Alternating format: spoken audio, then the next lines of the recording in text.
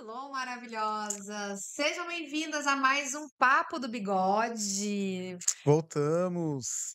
E aí, Kel, como é que você A passou gente nem se apresenta mais, né? Não, é, é que já são da família, já são de É, casa. então a gente já se Já sente de de casa. casa. Bom, sou Kel Padilha e, Will Oliveira, pra quem não segue a gente, segue, sigam a segue aí. gente. Will Lestes, é meu Instagram, Will Lestes.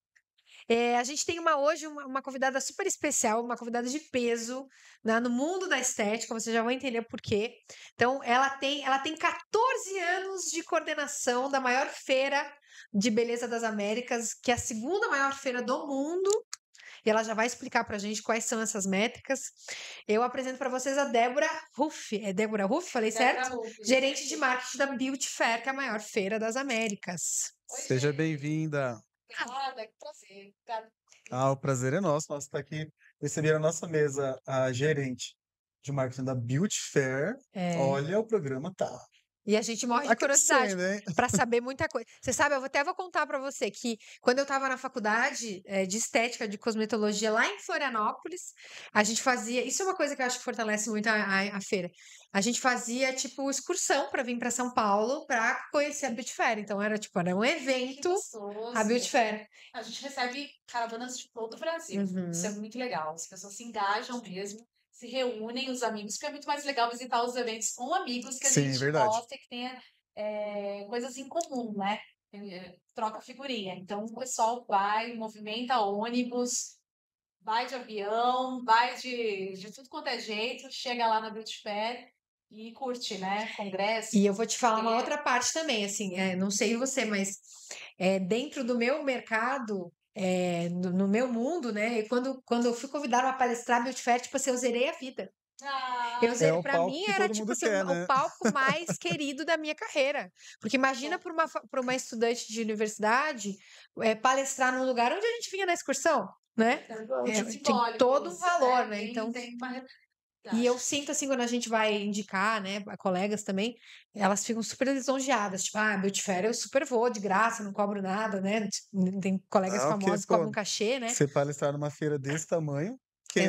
Tá, Exatamente. ó, tá na minha lista, hein? É, Tá tá na no, lista tá de no meu desejos. quadro, tá no meu quadro quadro de desejos, de visualizações.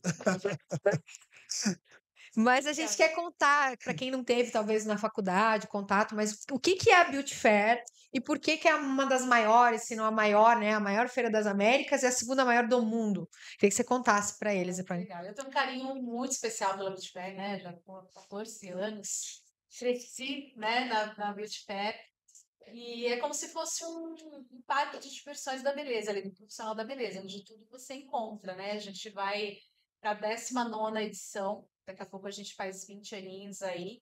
Então é um, é um caminho que a gente percorreu, falando com os profissionais de beleza, com os lojistas, né? Que então a gente agrega toda a comunidade de beleza, da indústria, do varejo, do salão, das clínicas de estética, dos influenciadores, então todos estão lá. Então, acho que é por isso que a Beauty Fair se faz tão relevante. Porque quem vive do mercado de beleza, quem trabalha no mercado de beleza, está lá, né? conhecendo as marcas, cercando nos congressos. Então, todas as novidades partem da Fair. Então, a gente agrega essa, comuni essa comunidade e é por isso que se torna tão relevante. Tudo de novo, tudo que é lançamento, sai de lá. Uhum. E hoje ela é a maior feira de beleza das Américas, a segunda maior do mundo. Nossa, é Em uma. termos de visitação, né? A gente atrai 200 mil visitas todas as feiras. É, mais de um, um bilhão de negócios são realizados nos quatro dias da feira. É, 20 mil pessoas vêm de, de caravanas, então a gente recebe pessoas do Brasil inteiro, da América Latina. Então a gente também reforça a comunidade dos profissionais que estão nos países próximos aqui do Brasil, que também vêm consumir as novidades no Brasil. Nossa, é uma estrutura muito grande, né? É Para você grande. gerenciar tudo isso, as caravanas, os Uhum. stands. E, como, e quem é a Débora nisso tudo? A gente sabe assim, existe a feira que é grande, você gerencia, cuida bem disso, mas como, quem é a Débora por trás da, Bom, da a? Débora é mãe de duas crianças, da Letícia de três, do Thiago de 11, sua esposa, sua irmã, Sou formada jornalista, né? Minha essência é jornalismo. Então, a gente trabalha muito conteúdo. Isso você, né, a gente vê muito no trabalho da Fair, que é a minha essência do jornalismo. A gente trabalha muito conteúdo. E eu comecei como repórter, né? Falando um pouquinho da, da carreira profissional. Tinha o sonho de ser repórter política. Tudo a ver, né? Sério? Beleza. Tudo a ver, super leve o assunto. super leve, fiz uma pós em jornalismo político, fui repórter de política no Diário do Comércio e Indústria. Quando eu fui trabalhar lá, não gostei de, de cobrir deputado, Assembleia Legislativa, e eu já tinha trabalhado antes no mercado de beleza, né? Eu trabalhei no Capitader, fazendo um programa de TV que eles tinham, Beleza Hoje, tinha um programa de rádio e de televisão. E daí, depois que eu fui para o jornalismo político, e eu falei assim, não, eu gostei de beleza. E aí eu já tinha feito algumas conexões, trabalhei em revista impressa, chamada cabeleireiros.com, foi editora-chefe lá, e eu me descobri no mercado de beleza. E aí eu fiz conexão e vim para a Beauty Fair. Desde 2009 estou na Beauty Fair, comecei só abastecendo o portal de conteúdo, e aí fui crescendo junto com a Beauty Fair até virar gerente de marketing. Você é, tá na lista das mulheres guerreiras aí, que tem É. multifunções na Eu vida. não sei se vocês entenderam. Ela falou que tem, vai fazer 20 anos a feira, ela tá 14 anos trabalhando na empresa. Então Parece conhece. quando começou, né?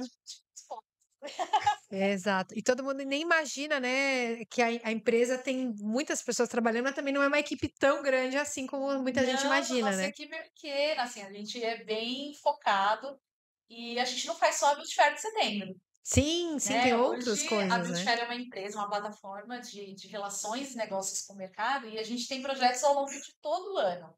Então, a gente começa em janeiro levando os lojistas para Nova York. O ano que vem a gente vai levar para Orlando para fazer um curso na Disney. Então, a gente reúne as, os 30 maiores lojistas de perfumaria né, para Uhum. uma imersão Nossa, que legal. internacional. não sabia A, a imersão na Disney é, um- é um dos melhores cursos que tem. O meu sonho é um dia. Esse, esse é meu Nossa, próximo que é do um- quadro dos sonhos. Vira, lojista, que é. Não, eu quero pagar, dá pra comprar o curso também. Quem sabe, né? É, quem Aí, ó. sabe? É, ó, fica a dica aí, já foi hein? Fica a dica. Fica a dica, fica a dica. A gente tem outros, uma imersão é, para Maria também no Brasil. Cada ano a gente escolhe um resort onde a gente faz uma, é, um grande evento com as, com as marcas e leva mais lojistas de Maria. A gente faz confrarias também, a gente tem um projeto bem grande, né? uma rota já bem consolidada para lojistas de Maria. A gente tem um evento grande para mil donos de salões, que é o Summit Donos de Salões. Tem o Beauty Show, que né, 2023 foi a primeira edição. Bebezinho agora, né? make, em, em maquiagem, é, Cílios e maquiagem, unha. cílios e unhas, né? Foi a Uhum. primeira edição, foi muito boa. 2024 a gente tem a segunda edição. Ó, já fiquem ligadinhos aí. É, já, já se preparem para saber a- essa, essa feira, né? E a Beauty Fair, que é essa gigante, né? Que tem mil eventos dentro de um só. Então, a gente está o ano todo servindo o mercado de beleza. Cara, então é pra criar bastante conexões. Eu não sabia disso, não, Uhum. que a Beauty Fair Não, e o grupo, vários... gente, a gente não vai entrar em detalhes, mas o grupo cresceu, né? Cresceu, A gente não vai entrar em detalhes, cresceu. mas tem mais coisa ainda, né? Agora que vocês já têm uma grande É, não, equipe, para né? 2024 a gente ainda tem novos projetos que eu ainda não posso abrir Pode abrir. todos. Mas vem muita novidade, eventos de nicho focado em comunidades específicas, eventos regionais, então a gente está se preparando para atender ainda mais mercado de beleza. A gente também tem, a, a- atende as, as indústrias que exportam né, cosméticos para pro, os mercados, mercado europeu, mercado latino-americano, então a gente também tem esse projeto dentro da Beauty Fair Legal. de exportação. E co- como que começou a, a, a história da Beauty Fair? Esse evento, assim, pra ele chegar ao que ele é hoje? Beauty Fair, ela faz parte do grupo Kizak, né? É, nasceu ali em 2005. O grupo Kizak, né, Kizak Cosméticos, é, sempre participou de feiras no mercado da beleza. E chegou um momento que é, sentia-se falta de, de um outro perfil de, de, de evento de beleza que entregasse mais, que falasse de forma diferente com o expositor e com a comunidade. E por que não? Por que não a gente fazer a nossa própria feira? Foi assim que né, a, o Bikezak pensou naquele momento. Nasceu a Beauty Fair, da, da união de várias forças, né, das marcas principalmente, que acreditaram no projeto, dos profissionais que frequentavam muito as lojas da Ikezak. E foi uma grande aposta que, ano após ano, foi crescendo, né, viu que ali era um projeto diferente, que tinha como missão desenvolver o mercado de beleza como um todo, não ser uma feira, mas servir a comunidade de profissionais de beleza. E, e todo mundo, eu acho que é um, é um trabalho de equipe, né? A Beautyver, né? Não é só a organização, a gente fala que todo mundo contribuiu para isso. Todas as indústrias que fazem parte, todos os lojistas que visitam, todos os profissionais. É um trabalho realmente de equipe, o Beautyver. Cara, minha organização disso deve começar bem antes da feira, né? O ano inteiro. É o ano inteiro. A gente trabalha o ano inteiro para entregar a Beautyfair. A gente, a gente ocupa todos os pavilhões do Center Norte. Tem vários mundos ali dentro, né? Tem o mundo do cabeleireiro, o mundo da manicure, do Uhum. extensionista de cílios, da maquiadora, do influenciador de beleza, né? Todo mundo se encontra lá. Então a gente pensa como entregar uma feira de beleza onde cada um se sinta muito representado ali num evento tão grande, né? É é um evento de detalhes e, e para ali a gente recebe muita gente, né? Então é uma estrutura realmente gigantesca e que consome boa parte aí do nosso trabalho ao longo do ano. Eu tive a Certo. oportunidade de ir na Cosmoprof, que é uma outra feira também muito grande. Inclusive, a Beauty Fair tem um stand lá dentro da Tem, feira, a né? gente leva as marcas. Que é o stand do Brasil, Beauty Fair, né? Com as marcas lá dentro. E não tem o mesmo, o mesmo jeitinho brasileiro, tipo uma drag cantando, fazendo. Não tem, gente, porque pra quem nunca foi na Beauty Fair, é uma feira que Super não é é só. festa, né? É uma festa. É uma festa. Se você é uma pessoa que quer ir lá só para comprar um produtinho pro cabelo, você, você Vai também vai se preparado. divertir. Ah, É, uma- é um parque de diversões para o cliente final e pro, também para o profissional, né? Porque tem muita gente que vai lá de curioso mesmo, que quer conhecer as marcas, quer comprar é, pro- produto de maquiagem, quer ver uma influenciadora famosa, né? Porque também Nossa, tem isso, vai né? muita gente famosa lá. hein? Quando passa o corredor com Você, tá, você, você escuta o grito, é, certeza, tem um famoso sabe. passando. É. a gente tá assim, ó, só fica atendendo a é? Quem é? cabecinha da pessoa. é. Só com as malinhas, né? Sempre uma linha carregada de novidade que compra, né? As pessoas gostam muito de comprar, aproveitar as promoções da Beauty Fair, ver os lançamentos. Então, cada passo ali na Fair é uma novidade. Você tem a oportunidade de aprender, né? Com os workshops nos estandes, ver um show diferente, uma inspiração, comprar um produto, né? Um produto que você sempre quis e que está na promoção, ver novidades, ver o que que o mercado está se preparando para entregar né, que você vai ver no dia seguinte nas lojas, nos auditórios, que a gente tem 28 a- atividades educacionais simultâneas dentro da Beauty Fair.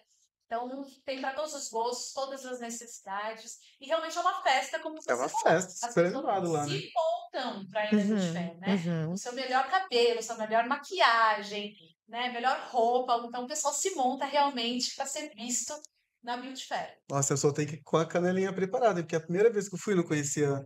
O pessoal vai Nunca- de salto alto. É, Nossa, as mulheres é. são doidas, né, gente? Pelo Aham. amor de Deus, eu fui de tênis e tal, e mesmo assim não dá pra você andar a feira toda. É, não dá. Você não consegue. Metade do dia você já, já Não dá. E um dia você não conhece Fair. Exato. E você falou que parece tipo um parque, é mesmo, tem até um É. mapinha, né, pra gente poder se guiar, pra poder passar na feira. É, gente, assim, muito vale, legal. é uma experiência, assim, que vale, eu acho, assim, que você ser um profissional da beleza e não ir numa beauty fair, eu, eu acho, assim, Tá perdendo uma um experiência absurdo, muito boa. porque ne- nem que seja pra você ir e dizer assim, ah, legal, não, você vai amar, você vai amar, pode ter certeza. E falando um pouquinho, assim, do nosso mercado de cílios, é como que entrou os cílios, como vocês enxergam os cílios dentro da beauty fair e como que, é, porque acho que já é o, é o quarto, quinto ano, eu, se não me engano, ou Do sexto, congresso. Quinto ano. É, o quinto ano quinto do, ano do do Congresso Congresso de Cílios. Como que o Cílios entrou nessa, nessa brincadeira e, qual, o que, que vocês imaginam para o futuro, assim? O Congresso de Cílios entrou de uma forma muito natural na, na programação da Fair. A gente está muito atenta no que acontece no mercado. A gente viu uma demanda crescendo ali, pra, o- tanto os profissionais querendo se qualificar na extensão de cílios, marcas surgindo para atender essa demanda de mercado. E, e é natural que a gente precise de, de ferramentas né, para educar o mercado. Então, por que não construir um congresso totalmente dedicado, focado para a extensão dos cílios e entregar conteúdo relevante para esses profissionais? E foi um sucesso desde a primeira edição, né? Então, a gente viu que tinha muita gente sedenta ali, carente de, de conhecimento, de técnicas, de conhecer o seu influenciador, né? Que é um influenciador e profissional de beleza, né? Que Uhum. elas acompanham no dia a dia e elas queriam ver, queriam acompanhar, é, e trazer isso para suas clientes, né? Então foi um boom e a gente e, e permanece isso, né? Acho que é uma carreira muito interessante no mercado de beleza, abre portas né, para o primeiro emprego, para o crescimento. É um, é, a gente fala que o mercado de beleza é muito forte para o empreendedorismo feminino. Uhum. Né? É, tem muitas mulheres que começam ali a sua carreira. É, às vezes a primeira porta para o mercado de trabalho está ali no mercado de beleza. Com certeza. Com certeza extensão de cílios foi a, uma grande ajuda para muitas mulheres ali que querem construir suas carreiras. Eu falei que eu só descanso quando eu ver a Beauty Fair, as feiras todas com o mesmo auditório da estética corporal e facial. Porque eles têm um auditório Nossa, gigantesco. enorme. Aí tá os cílios, assim, né? Tá crescendo. Mas a estética facial e corporal, né? Aquele auditório É. gigantesco, É aquela, Mas né? eu acho que é porque os cílios ainda não explorou tudo aquilo que ele tem de potencial dentro do mercado da beleza, você não Sim, acha? com certeza. Eu acho que a gente tem certeza. um potencial muito grande. Área estética tem muitos anos, né? De Uhum. carreira, tá, tá bem Tem construída. muito né? científico também, Tem né? muito, que eu acho muito que produto, fortalece muito muito. incentivo financeiro das marcas também de estarem lá, né? Também. Mas a extensão de cílios não tá atrás, não. Tá Que bom. crescendo rapidamente. Que pra gente é assim, bom. analisando os dados que você tem aí da área da beleza tal, como é que você enxerga os cílios, no geral, dentro do mercado da beleza? Tem uma competição forte com alguma outra área? Ou a gente Eu tem que dar que uma área- desbravada ainda aí? Eu acho que tem muita oportunidade ainda para de cílios, né? Tem muitas novidades. Eu acho que ainda um- os profissionais precisam entender que eles precisam de qualificação. né? A gente Uhum. sente ainda que é um profissional que ainda, ainda não entendeu que precisa de capacitação constante. Não adianta fazer um curso isolado, né? Ou pela prática. Ou assistir o videozinho no YouTube. Gente, isso aí não é curso, né? Não, é, infelizmente o mercado de beleza é educado É. Nada contra o YouTube, acho que toda, Não, tem muito conteúdo bom, é né? relevante para algum momento, mas formação do profissional precisa de, de capacitação, de gente qualificada, de uma insti- instituição séria ali por trás. Então, o profissional de beleza que já entendeu que precisa investir na sua carreira, ele sai na frente por causa disso.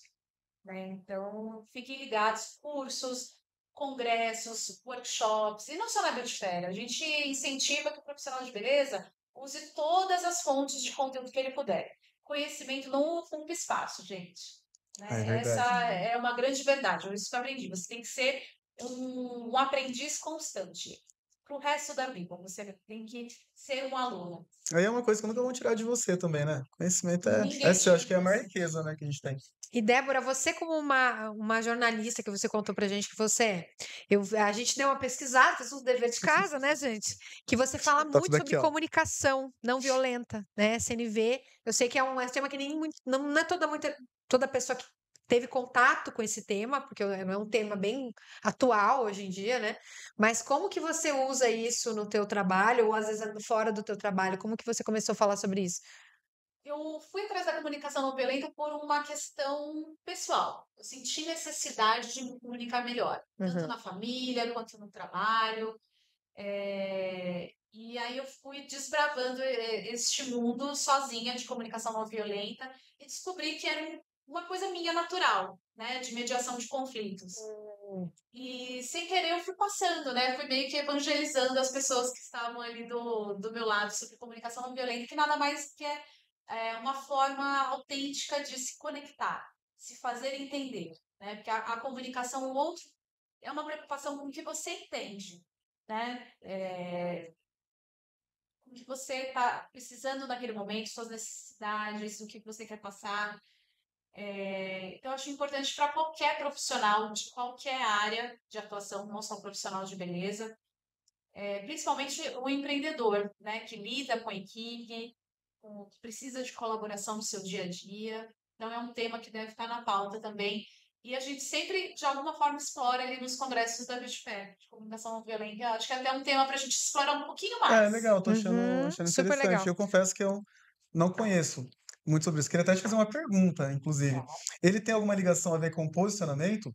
Porque quando a gente fala de posicionamento, né, Uhum. pessoal acha que é chegar lá na internet, falar um monte de coisa, tal, tal, não sei. E é uma, é uma comunicação, né? Tem Uhum. alguma ligação entre os dois? Como que você pode usar o seu posicionamento com o CNV para você ter uma mensagem mais branda? Manter ainda também a sua, a sua autenticidade na hora de passar esse, essa mensagem? Eu acho que faz parte do posicionamento, mas não é só isso. É uma forma mais de você é, entregar, eh, se conectar com a outra pessoa e também de ouvir. Né? A gente fala muito de comunicação, comunicação não é só de falar, é muito mais de ouvir, de entender o que a, a pessoa que está na sua frente, está precisando, necessita, e você fazer as perguntas corretas, é, sem julgamentos, principalmente você Uhum. olhar muito mais para os fatos, porque muitas vezes a gente escuta a pessoa já, e já julga, Uhum. né? É. Você não quer entender exatamente o que, que ela está tá te passando naquele momento. E sempre a gente quer dar uma sugestão, a gente sempre quer ouvir o outro para dar Falar de si. pra falar de si. Então, que comunicação não violenta também é muito de escuta. Uhum. Eu acho que é a parte mais difícil, talvez, que você falou que é de lidar com as pessoas, tal, tal. Acho que talvez seja um pouquinho. A gente, tem que trabalhar isso todo dia, né? Na verdade, Uhum. porque lidar com as pessoas é difícil. Quando você gerencia uma equipe de pessoas, acho que é muito mais difícil ainda, porque você fica numa linha tênue, né? Assim, Uhum. eu, eu preciso cobrar, né? Mas é como que eu vou cobrar para não ser mal interpretado ali, para não ser, sei lá, tipo, o chato da história, o grosso da história, mas ao mesmo tempo você tenta ser firme, mantendo a, a tranquilidade, mas você, se você for muito tranquilo também, você não Não tem a passa autoridade. autoridade. Nossa, é, é difícil É muito encaixar difícil. isso. É, o, o meu primeiro contato com, com comunicação violenta foi um curso de gestão empresarial. Justamente tinha um módulo do curso que se falava muito sobre comunicação não violenta. E me deu vontade de aprender mais, até para conflitos internos familiares mesmo, né? Porque às vezes numa situação. Eu acho até que as, pe- a, ali, né? a maioria das pessoas buscam por causa da família, né? Depois você começa a pensar na- nas reações da equipe. Mas isso teria me ajudado muito em, em coisas empresariais, né? Às vezes você quer dar um feedback para um funcionário, né? E como dar o melhor feedback sem ofender, mas também não ficar passando a mão na cabeça, É, né? Porque acho que também o CNV vai muito nisso, né? Com certeza. Não tem a ver com você ser bonzinho na comunicação. Tem a ver Uhum. com você ser complacente, você ser bonzinho. Não, você pode ser firme, mas de realmente ouvir e entender. Você está falando com uma pessoa. porque Muitas vezes você quer só falar o seu ponto de vista e não quer entender o outro. Então, comunicação não violenta é sobre se comunicar, para se conectar com outra pessoa. E para isso você tem que ouvir. Eu fico muito feliz da- de ver essa, essa crescente, né? Dessa busca crescente por habilidades comportamentais. Uhum. Né? Então, o profissional de beleza também tem que entender que não pode buscar só é, conhecimento técnico. É importante conhecimento técnico, mas o que vai fazer você ser diferente no mercado são as suas habilidades comportamentais, o seu tipo de comunicação, o seu tipo de liderança, como você se relaciona com as pessoas. Então, a cada vez mais a gente, nosso trabalho é sobre pessoas, né? Uhum. Sobre É. relacionamento. Né? Todo dia, ainda mais o profissional de beleza, né? Que atende pessoas. Se você não saber, não, não souber como lidar com pessoas, que tipo de profissional você quer ser produtor? Então, acho que isso tem que estar Ah, é verdade, ficou, uma, um alerta aí, né? Uhum, com Mesmo que a certeza. gente esteja no meio digital, né? Acho que isso, meio isso digital, conta né? bastante, né? Eu acho que a gente se preocupou muito tempo sobre como se comunicar nas redes sociais. Uhum, Como a gente se comunicar para o algoritmo. Isso. não para as pessoas. Então, às vezes, a pessoa, o profissional mesmo de beleza, ele se esquece. Vai buscar os seguidores, vai buscar o engajamento. E quando esse profissional chega para ser atendido, como que você trata ele? Será que é a mesma pessoa que estava ali na internet, né? Sorrindo, Uhum. Toda alegre, simpática, né, é. Essa dicotomia, né? Que é a relação da- do digital com o offline, que às vezes a pessoa cria uma persona, né, no, no, no meio digital, é a pessoa mais engraçada, ou a pessoa mais educada, que fala com todo mundo. E quando você chega para ser atendido com esse profissional, ele não olha na sua cara, extremamente tímido, não, não procura fazer as perguntas corretas para atender bem o seu cliente. Então, a mesma experiência que você entrega no digital, você também tem que entregar no presencial. É, a gente fala muito de ruído na comunicação, né? Quando você quer criar, você quer trabalhar o seu brand ali na internet, você não leva a mensagem para a pessoa que você quer que, que compre o seu conteúdo que te- ou que te siga, você tem um ruído ali. Mas quando você cria esse personagem e a pessoa chega no seu espaço para ser atendido por você, e você é outra pessoa, por exemplo, traz uma experiência negativa. A gente pode encaixar isso como um ruído também dessa do, do brand dessa dessa marca. Com certeza, a fidelização do seu cliente. Se você entrega uma coisa no digital e no presencial é outra coisa, você já tem um problema ali com o atendimento, você vai, vai conseguir renovar seus clientes, vai trazer os clientes e não vai conseguir reter. Atrai, mas não fideliza. E você falou que a Beauty Fair ela está preocupada em trazer esses temas também para a feira. É, até para explicar para o pessoal, tem, é, tem a feira de gestão lá dentro, né? Tem os congressos dentro, né? Voltados seminário de seminário de também. gestão. Então, até para quem. é, às vezes a gente fica só voltada para o nosso nicho, né? Só os cílios e tal. cílios. Mas são até em dias diferentes, dá, dá para você Dá para participar. participar também. de outros tem um dias. seminário de gestão em negócios de beleza. Então, todo mundo que tem um negócio de beleza, né, seja ele autônomo ou tem uma clínica, um salão, se beneficia desse conteúdo, que a gente fala muito mais. Não- falamos de técnica, a gente fala de atendimento, de gestão, da parte financeira, do marketing, de tudo que está ali ao redor do empreendedor de beleza. É que acho que você, aí já entra numa num nível de consciência do profissional, né? Eu Uhum. acho que isso. Por que que você acha, você também, cara, por que que você acha que as meninas hoje dos cílios, elas ficam mais preocupadas em fazer um curso de técnica, técnica, técnica, técnica, todo dia, mais um, não faz um curso de financeiro, um curso de gestão, Acho lá, que não, às vezes é passa, afinidade com eu o tema, né? Eu acho que a pessoa às vezes vem para beleza já. Eu falo, eu, eu falo, tá? Não sei, não me ofendo, não entendam como ofensa, mas eu, eu acho que a área da beleza ela virou uma administração, assim, no sentido de, ah, vou, não sei o que fazer, vou fazer uma administração, sabe? Não sei o que fazer, vou fazer um curso de estética. Eu fiz Fazer um curso- administração. Ah, né? Tipo assim, tipo assim, né? Mas, tipo, é- era uma opção, né? Porque quando você Sim. pensa assim, ah, tem o mercado Que de encaixa em trabalho tudo, que né? encaixa em tudo, tem mais oportunidade é, empresarial. Então, eu acho que a área da beleza para a mulher está com a administração para o mercado profissional em geral.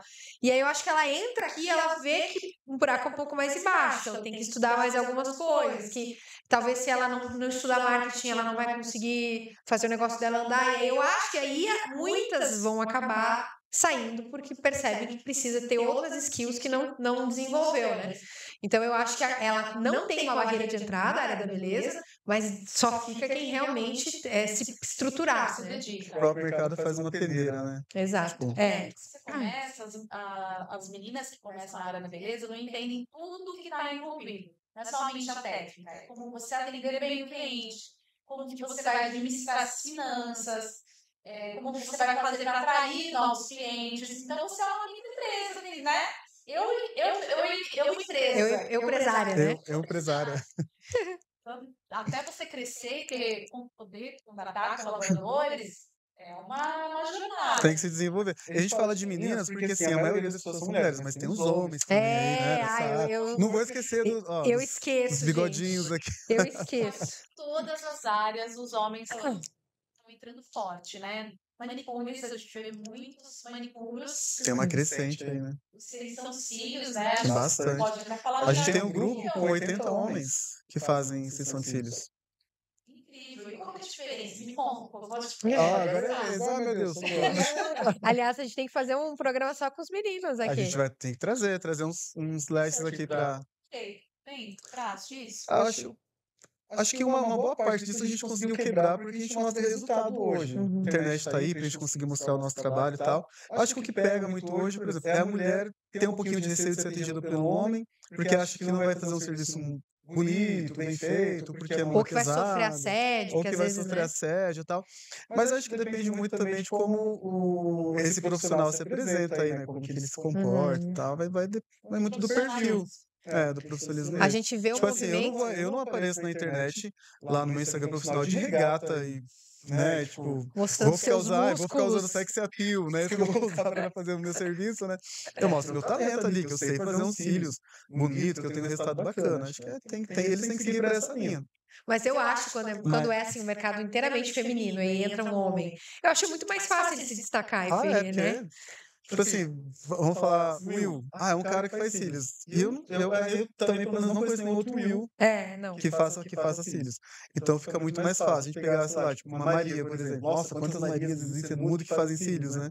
A A gente tem um destaque maior. todos. É pra Eu posso todos. dizer que quando você olha para o mercado da barbearia, que ainda pre- predominantemente masculino, a gente ainda Tem umas muitas barbers, né? meninas se destacando, tem muitas barbeiras ali se destacando no mercado. Muito legal. Então, o mercado de beleza é, não tem gênero. Não tem jeito, independente, do, independente da área, é a pessoa que vai ter que fazer Uhum. um bom trabalho, se dedicar bastante ali, né?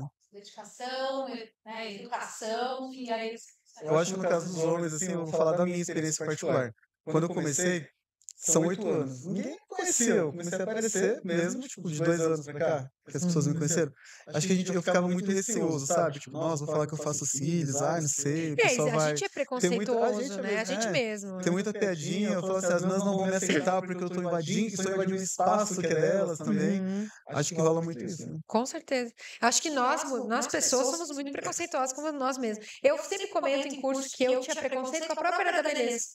Quando eu entrei, né? Porque eu acho que a área da beleza, ela foi se profissionalizando. Então, eu fazia faculdade, né? Tinha aula ali, tinha práticas, enfim, vivia a, a- vida clínica, mas eu tinha preconceito, tanto que na- nas minhas oportunidades eu fugia, eu ia para a área, eu, eu sempre entrei para empresas, tinha, era CLT, tinha a área da beleza como um bico, e não é, né? o- Que é o que a gente trabalha muito hoje em dia, para as pessoas entenderem que não é um bico, é uma super profissão, né? Não, não é, não é marginalizado. Inclusive, as pessoas podem e devem né, seguir a carreira acadêmica. Né? Isso. Só porque manicure, cabeleireiro, maquiadora, elas podem se desenvolver né, educacionalmente na, na sociedade. É uma carreira, né? É, é, é bom, fomentou bastante isso. É que eu acho que até um determinado período, tipo assim, você vai fazer unha. Você vai fazer unha, mina? Vai estudar. É. Como se né, ela não tivesse que se capacitar para Se isso. não fosse uma carreira. É, como se fosse uma carreira. Você vai fazer sobrancelha, Uhum. você vai trabalhar com cílios. É esquisito, né? Porque a pessoa tá ali trabalhando todo dia. Pô, e tem gente que trabalha na área da beleza, tem manicure que é muito mais do que um médico, por Uma, uma exemplo. pessoa Tem um formada, com certeza. pessoal de cílios e sobrancelha. E cara, Beauty Fair, uma curiosidade minha, tá? Nem tá aqui na pauta.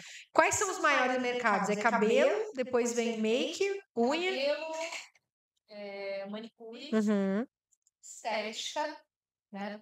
E facial, maquiagem, logo ali já tá extensão cílios, design de sobrancelha, micropigmentação, nesse mercado. E a gente atende outros mercados também que são, são menores, como podologia, a gente já tem um congresso de Subnichos ali dentro, né? tem.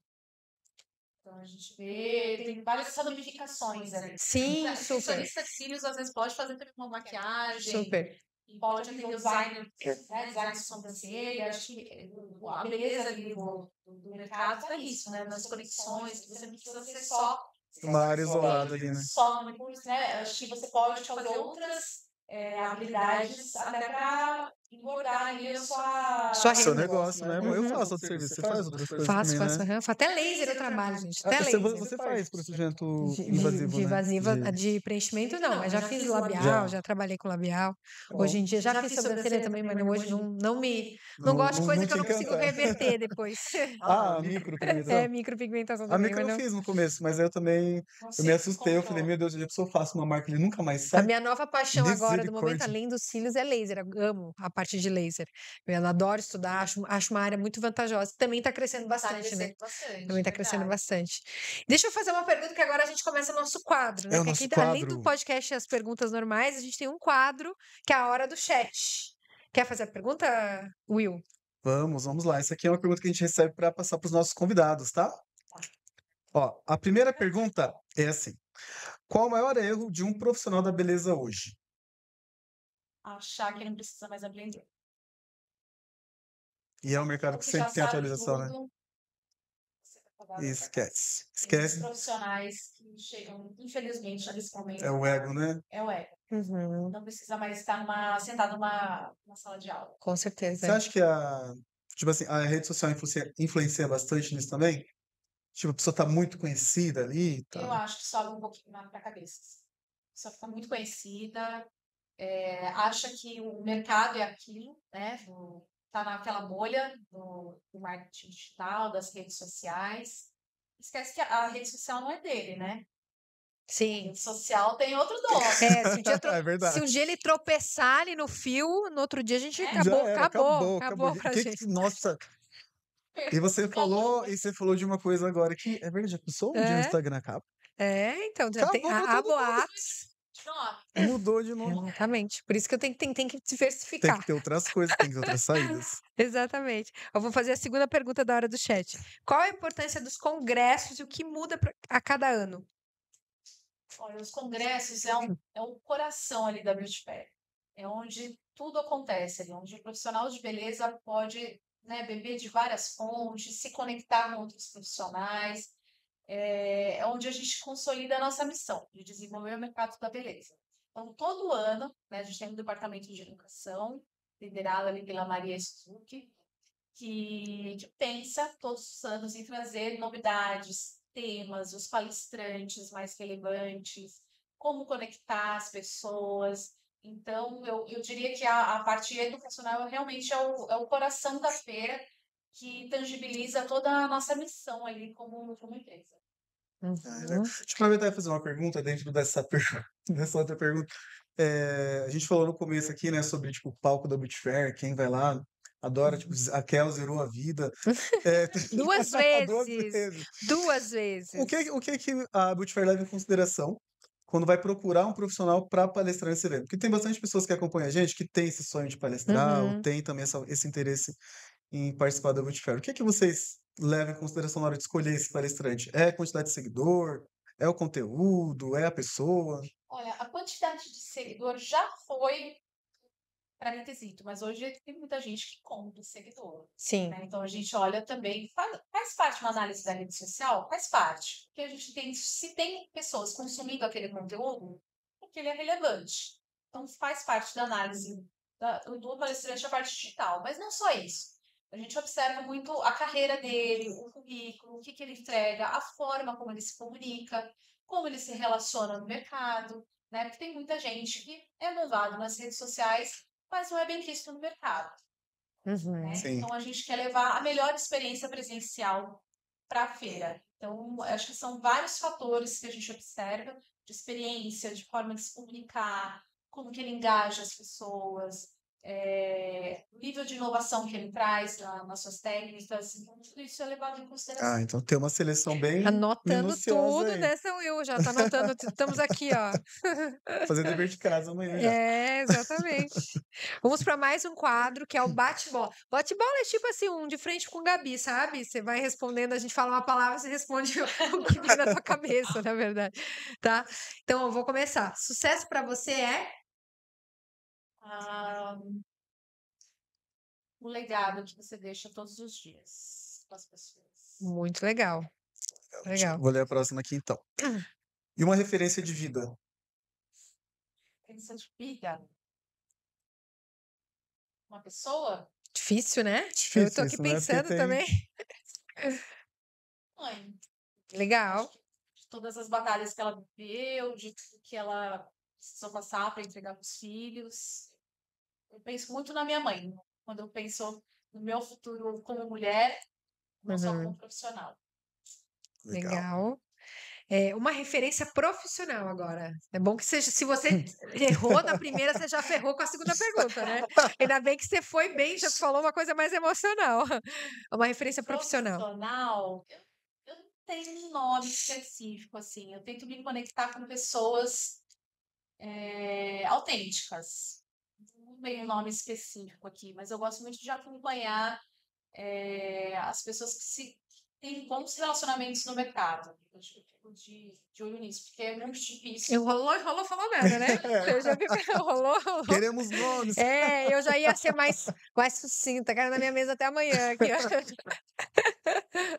Mas eu vou fazer uma pergunta, então, mais, mais interessante. Eu vou falar assim: do mercado que você conhece, da área da beleza, tem alguma pessoa que você fala assim, cara, esse profissional com esse nome é uma inspiração, eu, eu, eu sinto que as pessoas gostam dele, eu, eu admirei quando eu tive a oportunidade de conhecer, porque acho que quando quem conhece os famosos vai amar e odiar também é, alguns, é né? ali que decide, né? É. Da área da, da área da beleza que você conheceu através da Beauty Fair, assim. Não vale chamar, não vale falar do chefe, né? Não vale falar do, do não, chefe. Vamos falar de um profissional que a gente conhece há muitos anos. Ele começou.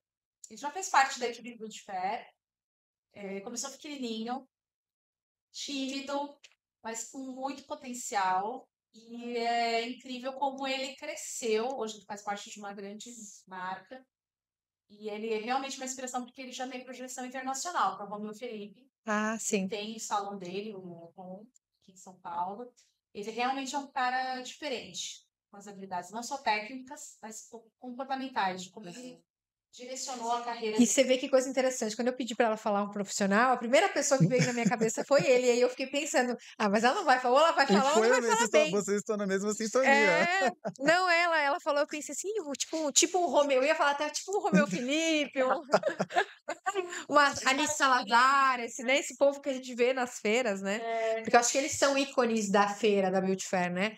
são, Algumas personalidades Tem uns ali. nomes bem fortes, né? É. ah, na feira. nomes, assim, é muita injustiça só falar do Romeu Felipe. Ele veio a primeira porque ele tem uma história com a, com a Beauty Fair ali desde o começo, né? Quando eu entrei na Beauty Fair, ele fazia parte da equipe, ele viajava, né, o Hum. Brasil com outros profissionais fazendo educação. E é interessante como ele direcionou a equipe, né? Porque ele é bem tímido, mas ele, ele se comunica muito pelo olhar e pela técnica dele, né? Então, hoje ele já é referência internacional.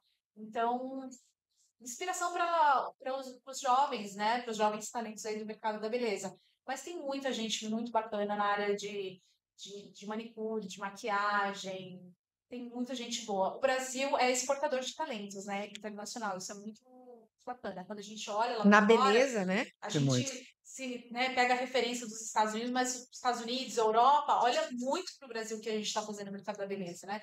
Depilação brasileira, a extensão de cílios, a forma Uhum. como a gente faz a técnica de uma forma mais natural, a unha, né, a manicure brasileira, tipo exportação.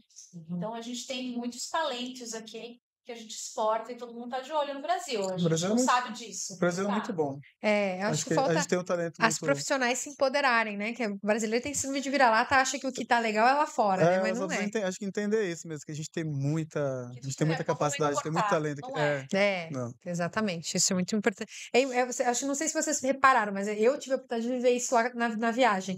Mas tem muitas marcas brasileiras que são super conceituadas lá fora, né? De cabelo, principalmente, foi o que eu mais percebi. Então, ela comentou mais de 50 marcas, né? Que, que, que o Brasil leva para lá, né? para Dubai, né? Pra que é Dubai. uma feira que aconteceu recentemente. E outras feiras do Brasil, né? A Beauty Fair leva as marcas para Cosmoprof e Bolonha. Então, o que se destaca lá fora nas marcas é a parte capilar, né?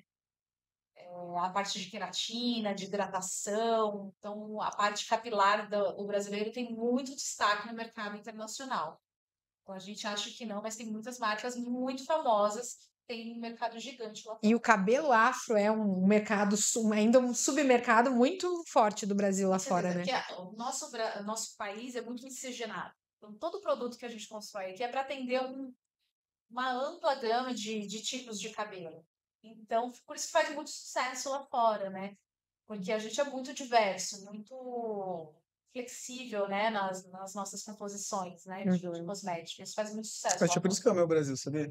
Hum? Eu, eu amo o Brasil. Eu, amo- eu, Eu também. Brasil. Eu amo Eu Brasil. eu, eu Brasil. Eu sempre falo.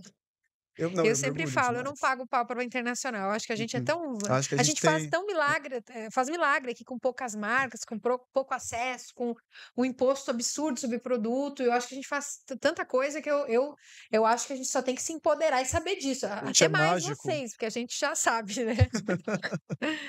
gente, ó, eu vou continuar, tá? Vamos lá. Um sonho Um sonho. que ainda não foi realizado. Meu sonho ou sonho de... Sonho teu. Depois a gente quer saber mais. Eu acho que a gente, eu como profissional, eu trabalho para o desenvolvimento do- da profissão, né, do mercado de trabalho. Que quando a gente tiver um mercado consolidado, formalizado, né, com regras estabelecidas, onde todo mundo pode eh, trabalhar e se beneficiar disso, eu acho que eu vou fazer, eu contribuí para isso. Uhum, Deixou um legado no Deixei um mundo. legado, é. Eu Legal. Tem, um pedacinho meu ali. Então, e um sonho realizado? Difícil, eu também não saberia. Eu vou ver se tá de acordo com o que eu tô respondendo a ficha. Lado da profissão, não, eu vou pro lado pessoal. Acho que meu sonho realizado é ser mãe. Eu acho que são meu- meus dois tesouros ali, é o que eu, que eu deixo pro, pro futuro ali, né? E ela viaja Ai. bastante, né? Tem que se virar ainda com a bastante. criança, né? É, não. O maridão ali ajuda, né? Mas acho que são os meus sonhos realizados, meus filhos. E quando tem filho, a vida muda, né? Totalmente, Muda com total, certeza. gente. E uma viagem? Viagem, ah, todas que eu faço com a minha família. Todas. Que a gente se diverte, a gente se conecta. Qualquer viagem com eles é uma viagem inesquecível. Então eu vou te perguntar, e uma viagem da, através do trabalho, qual foi a mais assim que você diz, esse país assim, eu amei conhecer, ou foi uma experiência que você comentou que você vai para alguns países e está de olho no mercado internacional. Qual que seria um país assim que você acha que isso Olha, eu já fui várias vezes e nos Estados Unidos ali, mas Nova York realmente sempre me surpreende quando a gente vai, né? Todo, todo ano, em janeiro, a gente leva os lojistas para Nova York para uma feira de varejo. que fala de tecnologia, inovação, e a gente faz visitas técnicas para descobrir novas tecnologias, o que eles podem trazer para o Brasil. E é incrível que todo ano tem uma novidade diferente, tudo nasce ali de Nova York, né? O mundo inteiro bebe ali da, daquela fonte. Então tem muita inovação, a gente aprende muito ali. Que legal, vamos ver. Beleza é. Ela fala meu ganha-pão. meu ganha-pão. Nosso ganha-pão. ganha pão. É boa resposta. Nosso ganha-pão, é. Tá. Mercado da beleza, né? Eu acho que. Difícil essas perguntas, Difícil, hein? Quem que faz essas perguntas, essas falar, hein? Vou te falar, quem que fez essas perguntas? É É de frente com a Gabi mesmo. Total. Acho que a beleza é tudo que você faz quando você ajuda as pessoas. Isso é beleza. Quando você Uhum. pensa em ajudar o próximo. Seja com educação, seja com meio da carreira, com produtos novos. Quando você pensa no seu cliente, quando você pensa nas pessoas, isso é beleza. Vou deixar a última para você. E viver bem é? Viver bem é você ter tentar buscar o equilíbrio, tanto da, da profissão quanto da vida pessoal. Acho que tudo tem que se conectar. Hum, Ó, o difícil. universo, as energias aí. É, fica a dica, viu, pra gente? Fica a dica. missão. É, Aí uma quando as energias se batem assim. É. Difícil. Mas, eu acho que essa busca, né, pelo eterno equilíbrio entre o pessoal e o profissional, que a gente deve perseguir. Débora, agora eu vou te fazer uma pergunta para a gente encerrar nosso, nosso programa de hoje, mas o que que você vê para o futuro da Beauty, da Beauty Fair? Que você a gente falou de um sonho seu, né? Mas um sonho, você até comentou um pouco do mercado, mas o que, que, que você imagina para a Beauty Fair assim, para os próximos anos? A gente está se preparando muito para contribuir ainda mais para o mercado da beleza, né? Gente- nossa missão é relacionamento e negócios para todo mundo que vive no mercado. Hum. Então, é, por meio dos nossos projetos, sejam presenciais, sejam online, a gente quer entregar a melhor experiência, oportunidades de networking, de conexão, de negócios. Então, que quem é, trabalha no mercado da beleza sinta próspero, sinta-se parte disso. Então, a gente vai contribuir para esse cenário. Legal, muito Ah, bom. bacana.